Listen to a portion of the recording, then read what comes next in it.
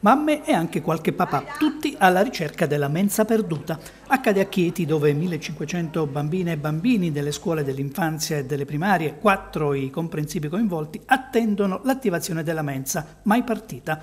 Ad esprimere vicinanza ai genitori anche la consigliera regionale Sara Marcozzi. Una protesta c'è già stata ieri, oggi il presidio bis davanti alla scuola primaria Cesari.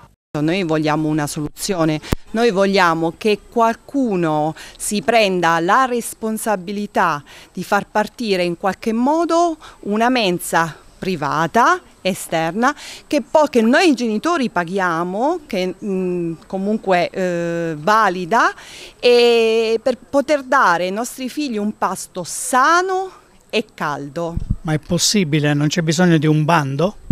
E adesso questo eh, non siamo noi a doverlo eh, decidere, comunque eh, dovrebbe esserci qualcuno che si prenda la responsabilità di vedere come fare. Allo stato attuale i genitori si armano di tanta pazienza per preparare il pasto ai propri figli, che, lo ricordiamo, hanno un'ora per mangiare con uscita alle 16. Ma fino a quando?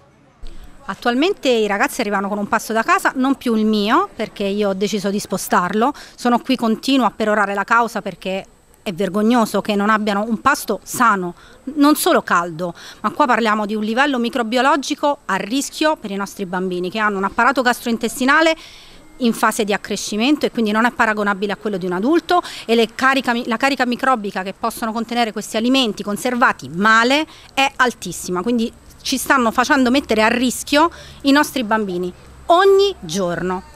Avete protestato anche ieri, eh, andrete avanti fino a quando?